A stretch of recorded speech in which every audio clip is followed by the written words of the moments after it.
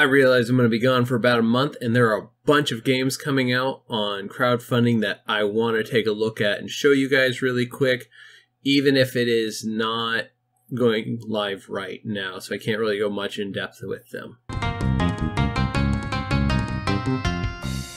Hello and welcome to Assorted Meeples. I'm Philip, the Meeple on duty, and today, like I said, we're taking a look at some crowdfunding. Some of these are out, some of these are not, and some of them are just curiosities for me. So, just a little bit of prep before I head out on my Alaska trip. First one isn't necessarily a crowdfunding. This is a game that's been out for a few years now, but I kind of just ran across it, and I'm looking for a war game for my for me and my uh, at least my old my one boy, um, and he is because he's into that sort of thing a little bit, and I want to explore it. I don't really care for the Warhammer universe. That's a bit dark and has it has stuff attached to it that I don't want in my house. So uh, I'll go. I think it's. I love Warhammer. I like. I love looking at the stuff. I just. I just don't want it in my house. So uh, Steel Rift to me looks like it has a very simplified system with a high variability of what you can do with the game and relatively low price overhead to get into and get battling with people. Obviously, you can spend a lot of money on any game.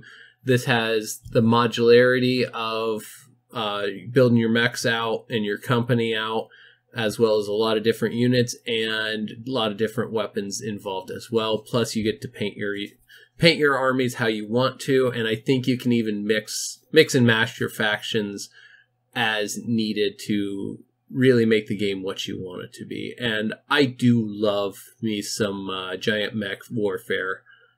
I love me some Gundam. So, moving on to the next thing.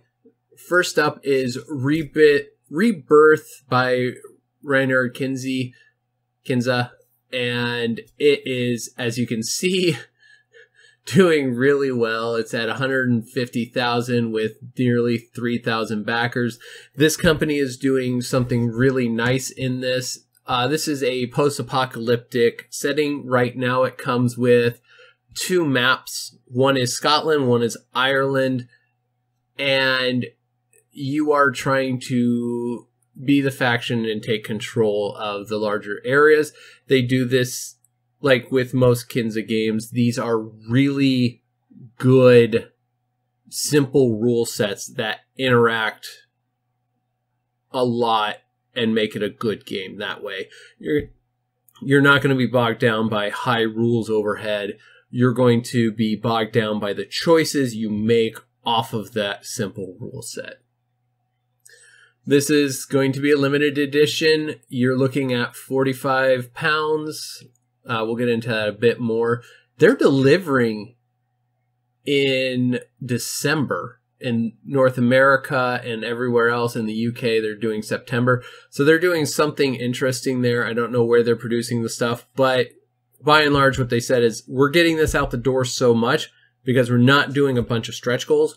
We're not doing a bunch of added st- content in here we have everything made already. We're not adding to it. And I think that's interesting. Uh, they're starting out with these really nice cloth bags with the each faction's uh, animal and color on it. I think it's a really fabulous uh, way to do it. Very nice. Um,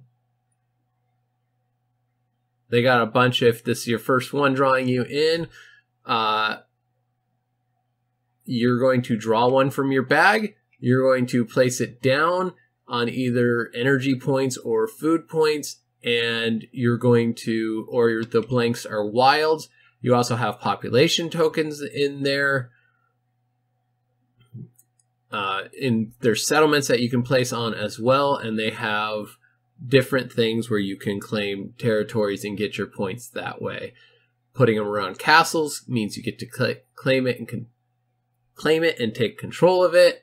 Citadels do different things as well. There's an Ireland map that has instead of citadel or cathedrals, uh, you're going to have round towers, which give different abilities.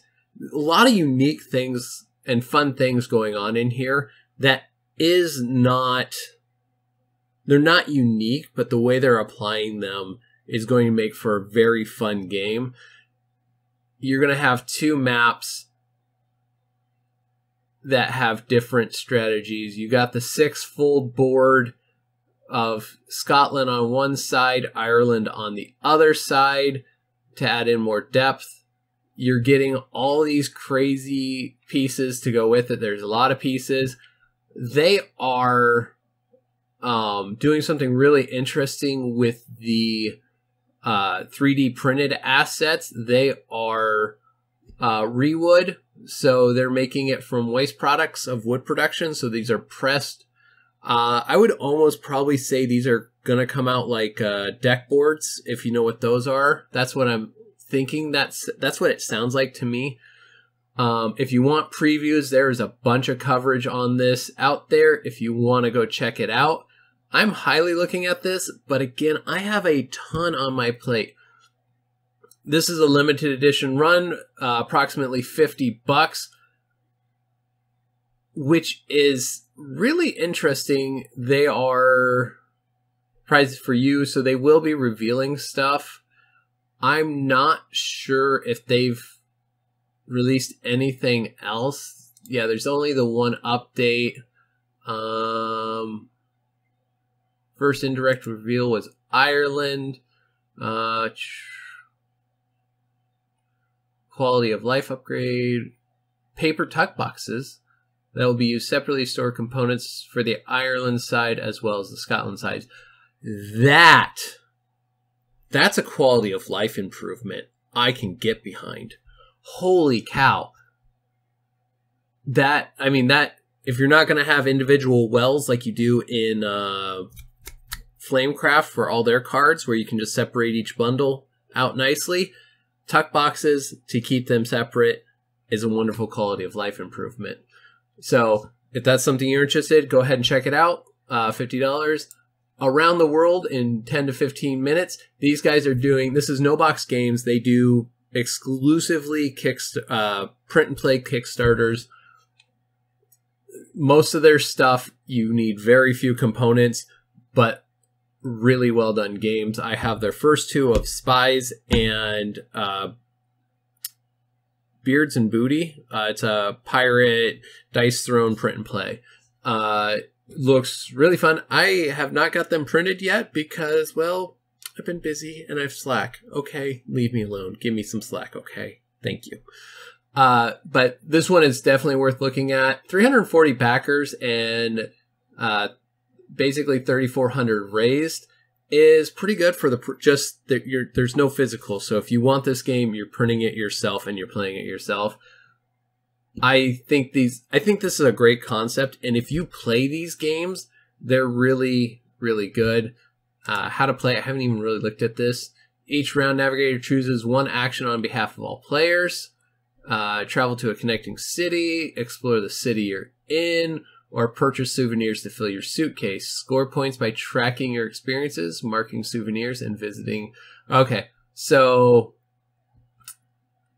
a lot of, again, really simple rules. You're trying to build up your supplies while limiting what other people can do. So if you're in a city with good souvenirs, picking up those souvenirs while other people are, are not good places really sets you ahead. Very nice, simple mechanics, obviously. Uh, if you want some previews, they have the previews there for you. Bonus maps. They have Europe, United States. That's excellent. They also do this a lot. They add in uh, quite a few. Eh, they add a lot of extra content the more there's due, and they do it in a very well, really good way. Uh, pledge levels five dollars. The deluxe version gets you the U.S. and Europe map both as well, so eight dollars for everything. And then if you want, yeah, so sixteen dollars gets you the deluxe version plus their previous games as well. Again, if you want this one, it's really easy. Their files are nicely set up from their other games. Next up, we have Ironwood from Mindclash Games. This is a two player game from them. and I am insanely curious about their games, but I know they rank on the higher level. And with me and Heather, we don't play that high level of games, like high high complexity games. We prefer simpler with complex interactions. So we don't necessarily go for the complex rules with a lot of overhead. The this one you are either druids trying to restore uh, totems or irons uh, ironclad trying to build out your forges. It is a clash of two different cultures trying to take their stuff. There are lots of lots of content around this one if you want to check it out to see if this is yours. I want to, but again, I'm restraining myself from spending every last penny at this point because yeah, here's another big selling point for this one. Solo mode is designed by David uh. Now, I'm pretty sure if I this is the name I'm thinking of, he does some of the best solo mode adaptations around for games that make them very simple to follow while also feeling like an opponent. That is key on all fronts to for everybody. Uh, lots of testimonials throughout as well. This is a pre-order, not necessarily a campaign. So they are already producing this game, and that you're you're just signifying how many copies they need to print, rather than. It gets really confusing now that Gamefound is doing pre-orders as well as campaigns as well as late pledges. Uh, but fifty dollars for the game I think this is kind of set up where they could add more factions if they wanted to down the road. Uh, be, the other thing you can do with this pre-order is because it's going to deliver in September. If you're a European backer or pre-order, you'll be able to, and you're going to uh, Spiel. I think they have, or Essen, Essen Spiel. Uh, they're going to have the uh, pickup in pick up you can pick it up there rather than getting it shipped to you. Uh, available retail, but ever pre-order directly into funding our studio and the development of upcoming games. Uh, yep, it just does all that stuff. You can look into it more if you want. DC Superheroes United is coming in July 2024. This is one I am 99.99% passing on because I have all the Marvel, and while some of the minis look interesting to me, I don't feel enough of a pull at this point to drop another $400 on this game system. They have yet to deliver my Marvel United uh, multiverse, so I'm kind of waiting to see what happens there. Uh, but on the multiverse front, they announced that they're getting close to the end of production and loading ships up with some of them, or loading cargo containers and getting pre-pack done on some of them, which is very heartening because Dice Marvel Dice Throne just with the X-Men just threw out like we're still working on the missions and I'm pretty sure um they have the X-Men the actual characters done. They're now working on getting the Marvel side done, and I'm just like, but or the missions done, and I just I, I just want my characters. That's all I pledge for. I just want my characters. Uh if you love DC, this is the same Marvel United system. They have a ton of comments in here and their Discord and their Facebook group. It's it's gonna be huge. It's gonna be big with all the heroes that you want and all the villains you could possibly want. Check it out if you want to. They have a follow. You get a free go- uh, free coin uh, for Two Face, when you follow. So it's an easy gift you can get and it will let you know when it goes live. Next up, we have from BFF Games the game Yield Battle for Oshra, which is a asymmetric area control game for two to five players. This is a prehistory of the world of hidden leaders where the king is young and alive and he is trying to fight off usurpers to his throne that are threatening to tear apart his kingdom that he has created. Looks really interesting. I need to see more on this. This is launching June 25th. And these guys, honestly, when we got the Hidden Leaders uh, print and play early, were absolutely fabulous to work with and they produced a really wonderful game in a good timeline. Uh, this last expansion, they were a little quiet during the uh, post to delivery phase, but they only updated when they had news. Uh, so, and it could I could have lost a lot of their communication in the shuffle of emails and such, but uh, they do pretty good about communicating and being pretty awesome community and good guys to work with. So I'm very curious in that one can't wait for that to come because it actually did look pretty good setup wise. I'm curious to know how that goes. Railroad Tiles, this is coming out, I want to say end of June as well. And this is a new game in the Railroad Inc. Railroad Inc. universe. Wow, English sucks some days.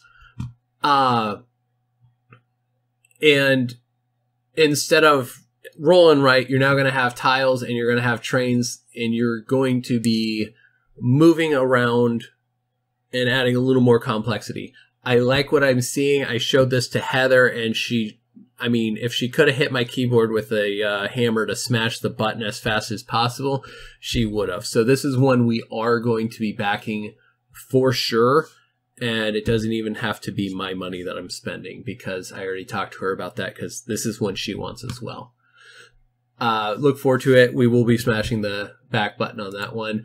Micro Moonshine by Thisroy Games. This is one that I'm following because I love the game these guys put out. I have uh, Microcosmos and Skyline Express, which is was re-implemented by Micro Architects. These guys are one of the companies staying on a small box uh, build style uh, program because they found we do really well in these small boxes where Skyline Express was a normal size box and it really hurt them to get it to market.